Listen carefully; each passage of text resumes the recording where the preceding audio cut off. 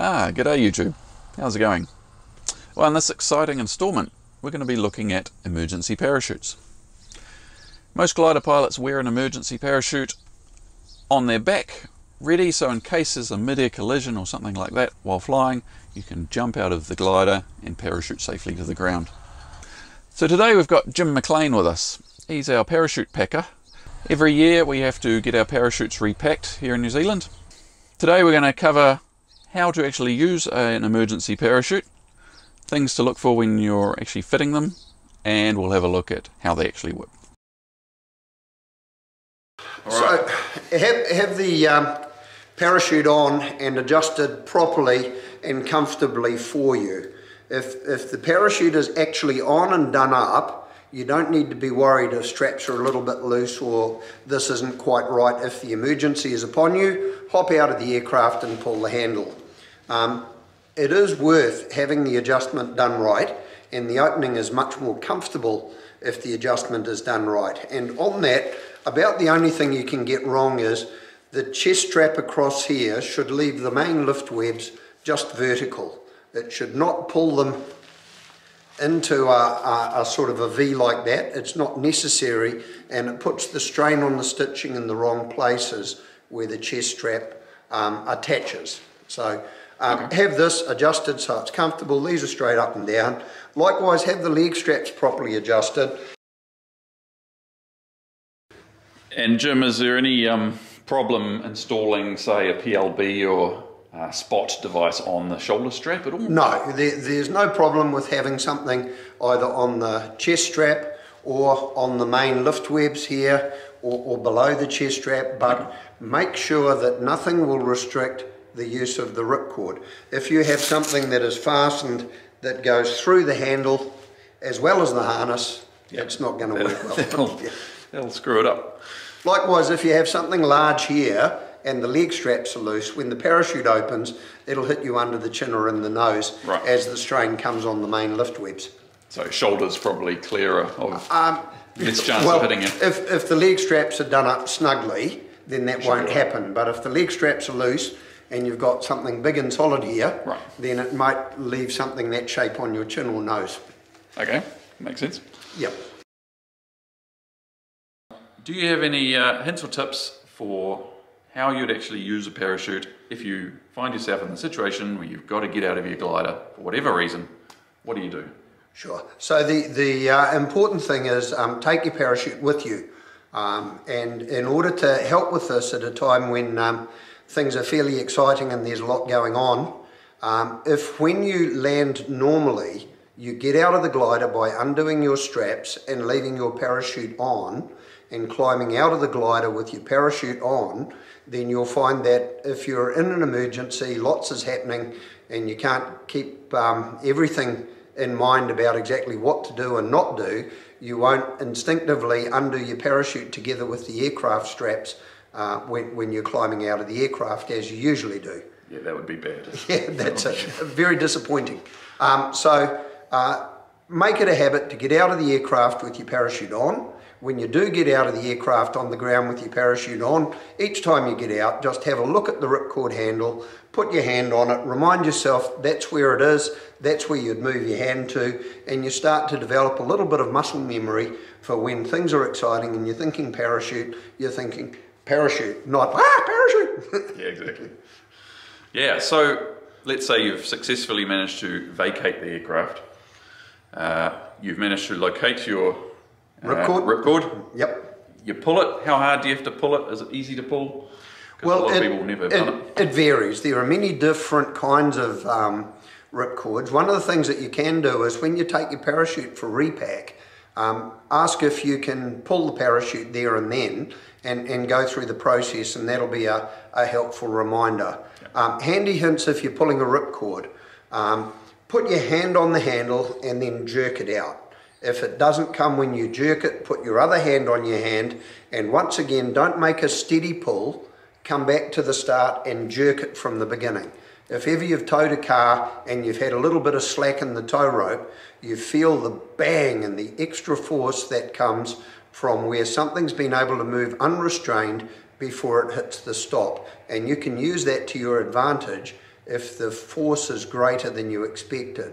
The other thing that's important is if you're pulling the handle and it doesn't appear to be working, look at what you're pulling. You may not be pulling the handle, you may be pulling the handle and something else as well, which is why it's not working. Like the strap, it's attached. Quite, to quite it so. sometimes. Yeah, or another piece of equipment on on the um, on on the rig. Right, left turn, right turn, wings just fallen off. And Jimmy. Whoa! Okay, and I'm ready. What? you missed it. Oh, what? No, it was beautiful. Okay, and then you've successfully deployed your chute. Uh, hopefully, it's actually working. Yes. Thanks to our packer having packed it properly. Uh, what do you do on the way down? Do you Um, well, can you steer it?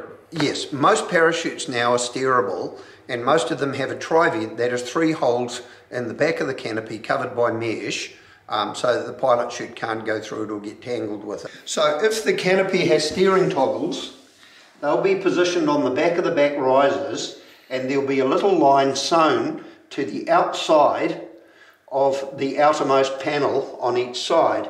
Now, although pulling on the toggles works, pulling on the whole riser works better.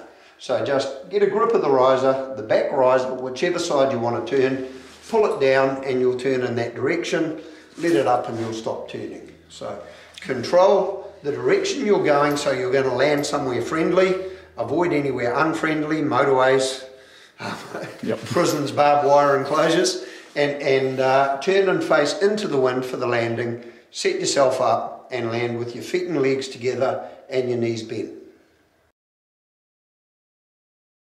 So um, the other thing I wanted to mention was if you've jumped out and you've pulled out the ripcord, but you've lost it and it's flying around in the wind, don't bother chasing it.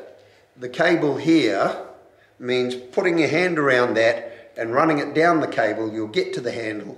You don't need to hold the handle to pull it, just pulling from there will deploy the parachute. Yeah.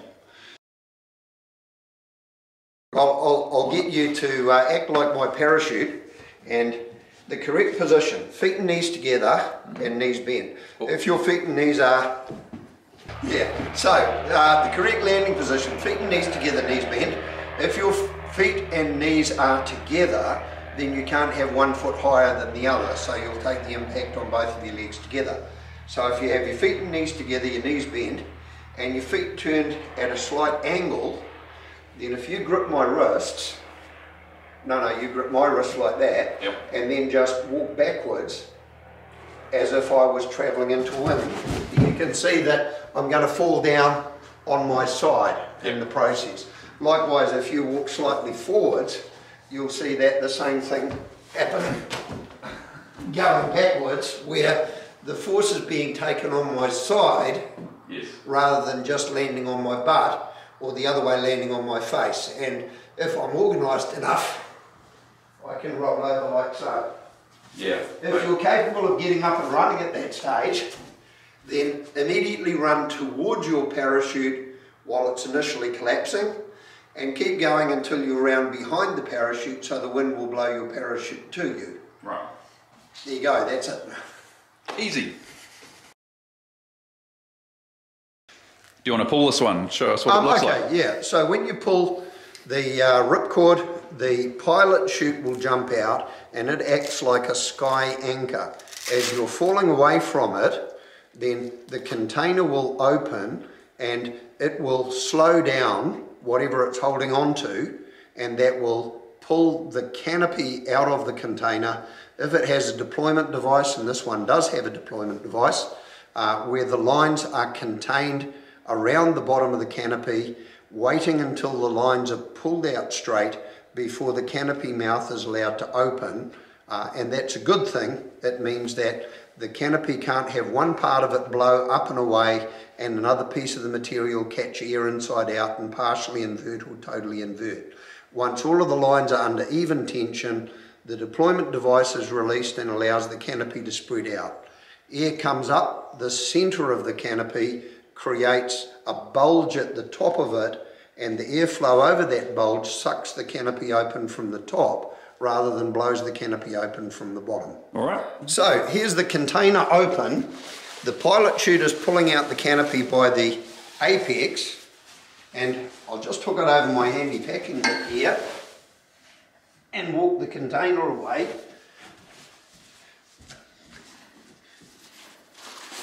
And the deployment device on the national parachute is what we call a full diaper. So all of the lines are stowed on the diaper and as you fall away, it's not until all of the lines are stowed and under tension that the canopy is allowed to open out.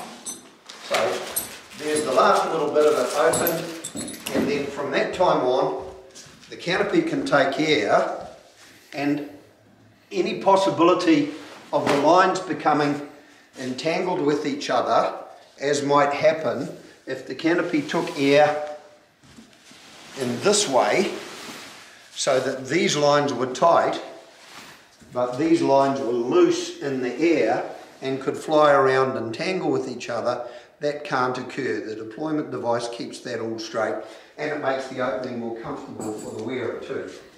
But the safety features are the main part of that.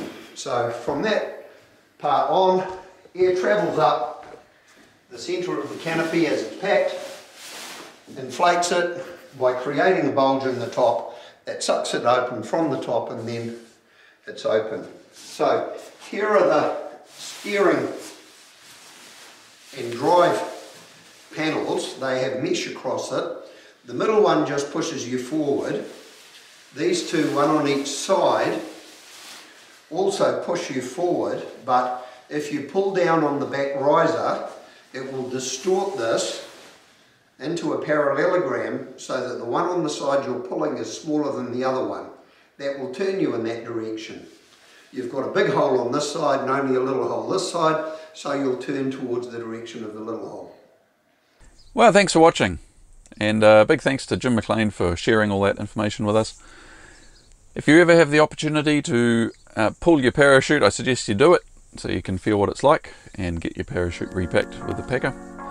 Anyway, thanks for watching. Hope you enjoyed it. Subscribe if you want to see more videos about gliding in the future. We've got heaps more coming, so we'll catch you, catch you next time.